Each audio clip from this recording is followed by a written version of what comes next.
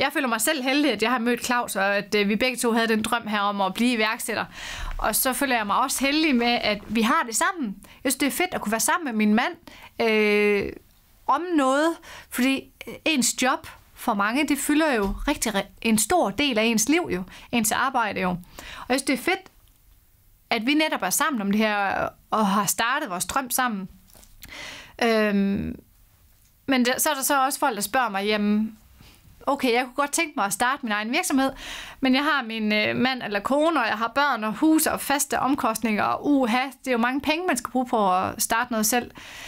Øhm, det er klart, man skal have sit bagland med. Hvis der man går med en rigtig, rigtig god idé, som man brænder for, så er det klart, at det vigtige, det er, at man har familien med på ideen. At de også synes, det er en god idé.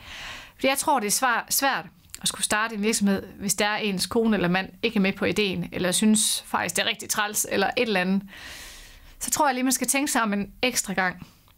Men hvis de er med, og man kan få dem med på ideen, og man har økonomien til det, og at man ikke lige pludselig skal gå fra hus og hjem, øhm, så skal man gøre det.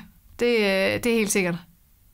Dengang, hvor Claus og jeg vi startede op, der var vi jo helt grønne. Vi vidste ingenting. Vi var nyforelskede, nygifte. Det kørte bare det hele ikke. Så vi havde jo ikke overvejelsen om, jamen tænk sig, hvis vi bliver uenige og bliver, får børn og bliver skilt, og hvad så med virksomheden? Det havde vi slet ikke i vores tanker, fordi det kunne vi da ikke forestille os, fordi det kørte jo bare. Øhm, og det kunne jeg heller ikke forestille mig i dag, fordi det kører, det, det kører som det skal mellem os, og det synes jeg er jo utrolig fedt. Men man skal virkelig passe på. Øh, det er klart. Fordi hvis man bliver uenig og ikke kan blive enig, hvad sker der så? Så, øhm, så man skal selvfølgelig tænke sig godt om. Også generelt med en partner, hvis man går sammen med en veninde eller en god ven, ikke? Jamen, hvad nu hvis det går galt? Kan vi så stadigvæk være rigtig gode venner? Øhm, det har man jo også tit hørt om. Så det kommer meget an på, hvem man er som person. Hvem er det, man går sammen med? Hvad er det for en person? Er det ens ægtefælle, eller er det ens gode ven, eller er det en helt tredje? Altså, der er jo selvfølgelig mange overvejelser, man skal gøre sig.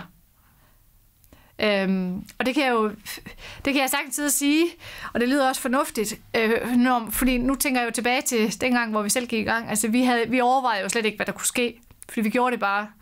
Øh, vi var unge og nye, nye udklækkede studerende, så vi gjorde det jo bare, hvilket var fedt, fordi jeg tror, hvis vi begyndte at tænke i de baner, jamen, øh, det, så både og. Jeg, mod, jeg modsiger mig en lille smule mig selv, kan man også sige, ikke? Fordi, kom an på, hvor man er i sit liv, vil jeg sige. Fordi hvis nu, at Claus og jeg, vi stod og havde fået børn og havde fået hus, og først der var kommet på ideen, så havde det måske set anderledes ud. Så har vi ikke været så modige jo.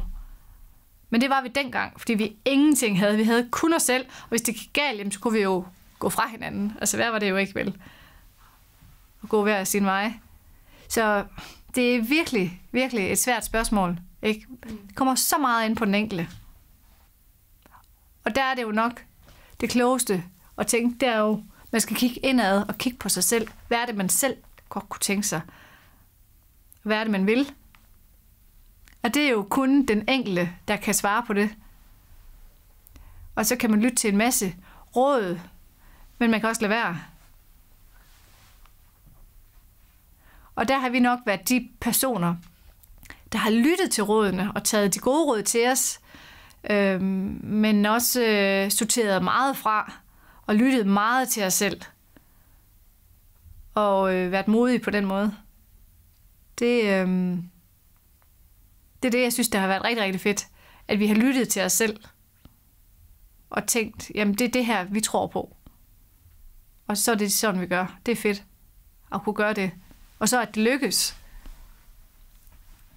Det er jo bare øh, bring noget